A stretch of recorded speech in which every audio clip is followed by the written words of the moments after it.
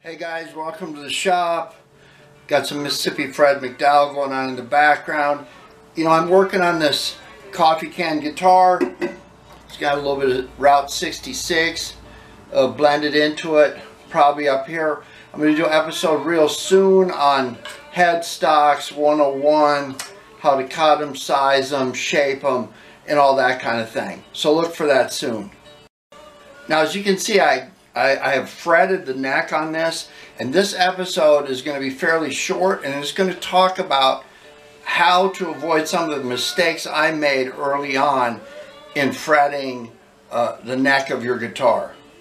All right, couple shout outs. First off, Jeffrey Ross, you are the best, dude. Thank you. You'll have a care package coming your way as well. All right, I also want to give a shout out to my friends at Amp Shop Bass Exchange in North Hollywood, California, in Lankershim there. They've got guitars, they've got amps, they've got parts, they've got strings, they got everything. So if you're in the area, stop by on Lankershim Boulevard. You're just north of the 101. There, a couple of blocks. Amp Shop Bass Exchange. All right, hey, check out my water bottle. Hey, shout out to you, Gene, Gene Water Machine, baby. Thanks for keeping the nitrites, not nitrates, nitrites out of my drinking water.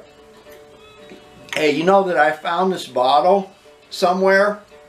If you're the person the first person that can tell me where I found this bottle, not you camera person, you know, you're out, you're disqualified.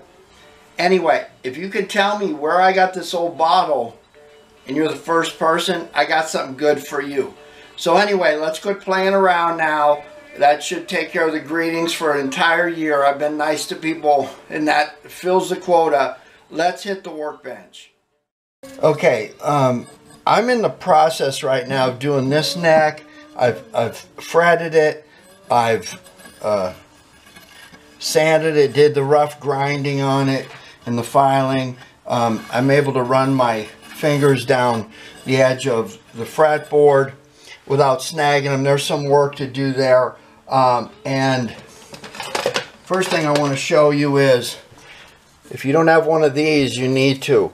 Uh, it's got a little belt on it you rotate it like this and you can just it's concave right here so you just do this I always get in the habit of counting how many times I do something to each fret because if you do the same thing to each fret all the way up and all the way back the likelihood that one of them is going to become uneven or or sanded more or less, uh, that goes away when you try to count and stay on track and do the same thing to each fret. Now, I, I didn't used to be careful about that, so I'll be filing with this. I'll be filing with this, and next thing you know, I'd have a mess. And when you have a mess with your frets, when you're filing and things, when you finally get the strings on, that's where your buzz comes from. That's where your dead strings come, come from. So we're going to talk about some of those things. Because the last thing you want is to string your guitar up and then you find out there's frets that aren't, they're too high, too low, or something's wrong. And I'm going to show you something first off that is the cardinal sin of some builders. Now, I buy my fret, my fret wire uh, cut, and um, one of these packages I, I end up using about four and a half of uh, these individual lengths to do one standard size neck. And I always do 25 and a half scale.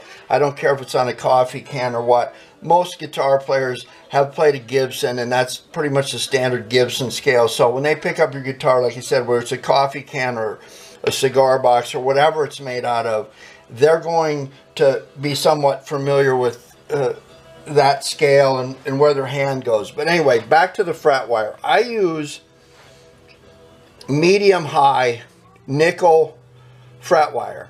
Now, do you see that written anywhere on this piece of fret wire? Look close. Okay, now about five seconds has passed since I told you that I use medium high silver nickel fret wire. Do you remember that? And, and you can't see that marked on here anywhere. So I've got a few packages of this, but guess what? I got a pack of jumbo hidden in here as well. Now, let's say that I'm picking up and it's the end of the evening, and this one is laying on my bench. Now it's curved, so the likelihood is pretty bent, so the likelihood I'll get it confused with this um, is low. But let's say that I'm picking up and I'm in a hurry and I stick this with the rest of it and then I'm working on a guitar later and I've got my last two or three frets to go. Can you see me here? I don't know where I'm at in the camera. Anyway, I've used up this piece so I go looking for another piece and what do you know? There it is. I grab it, tap this in, cut this off, put the guitar together and I mean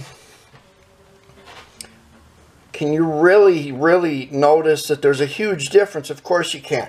So I put my guitar together and I get everything done and no matter what I do, the strings go dead here, here. And so I go all the way down like we do. We put our fingers here and chord the thing. And we find out that everything here is fine. But then we get down here and the strings go dead. Well, if the strings are going dead down here because I got a piece of jumbo fret wire down here, they're going to start going dead way up here. I've got a mess. And then when I finally figure out what's wrong, I got to pop these out and put the right fret wire in. And by that time, I've pretty much messed up these frets. I got to use glue. I got So it's a hassle. So lesson number one, know what your fret wire is. Keep it separate. I would keep it very separate. In fact, I would think about always using the same size fret wire.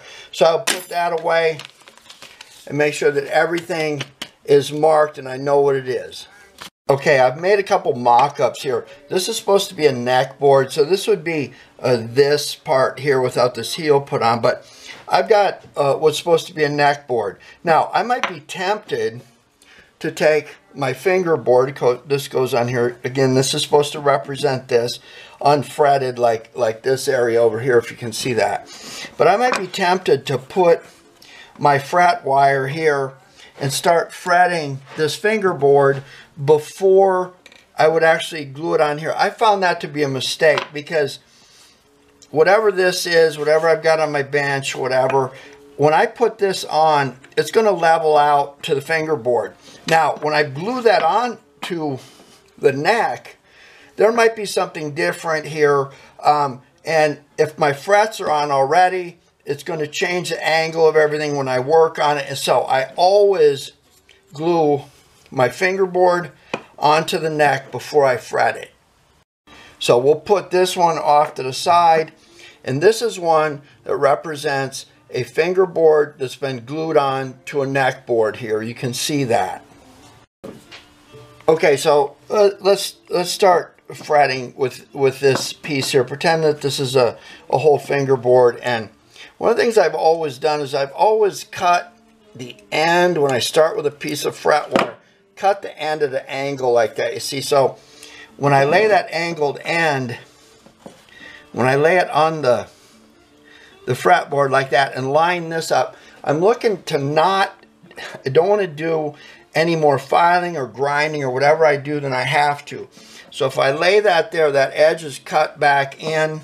I can take this I can tap it like so and see I'm already there. Nothing's sticking out. Now, my friend Darren Dukes, who taught me a lot, he's always said you can take some uh, sawdust from working your fingerboard and rub it right there before you finish everything and hide those slots, and it's a nice touch. Thanks for that tip, Darren.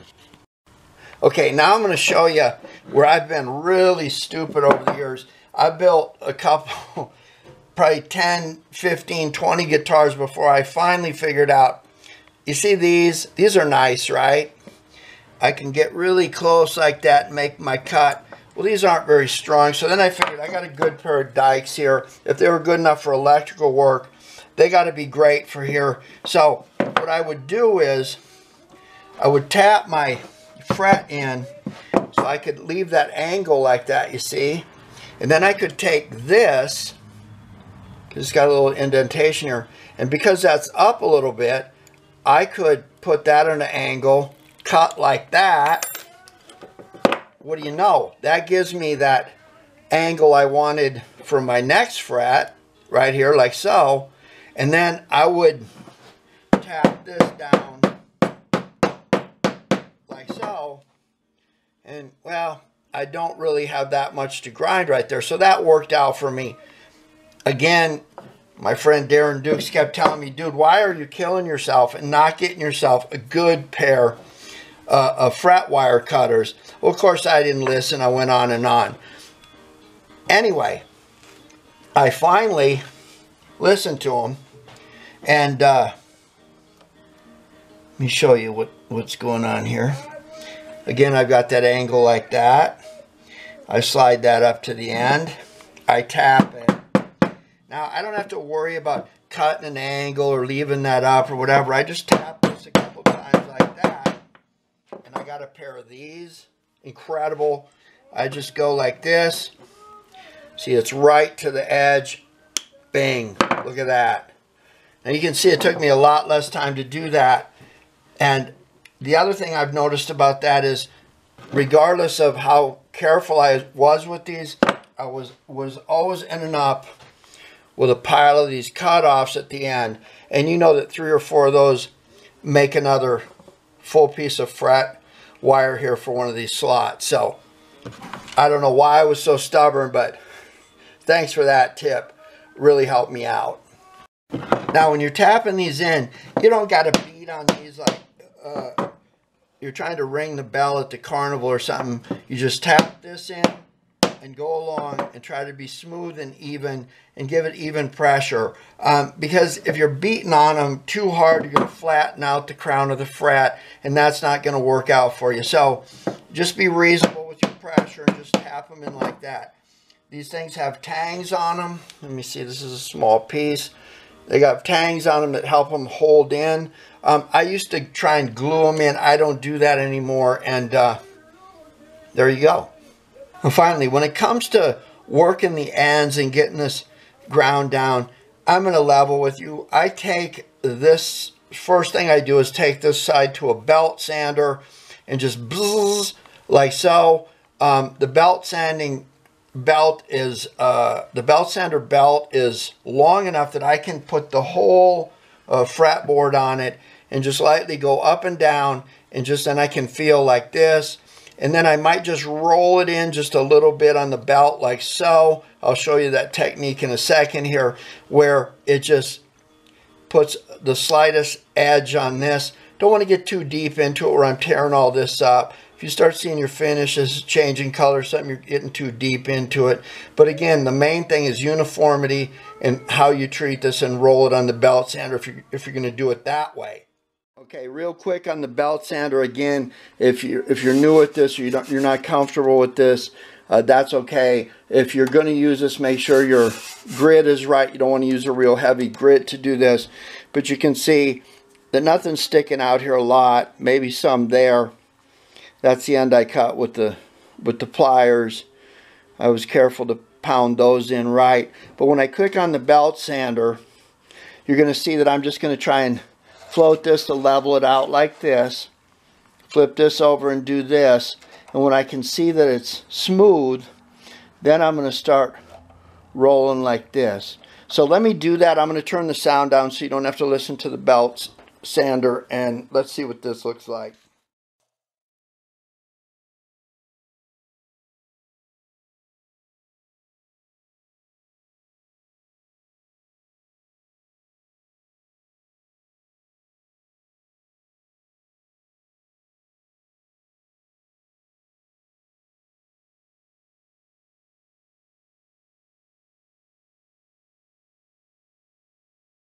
You're not going to do it on a belt sander, you, don't want to uh, do that right away if you're new at this.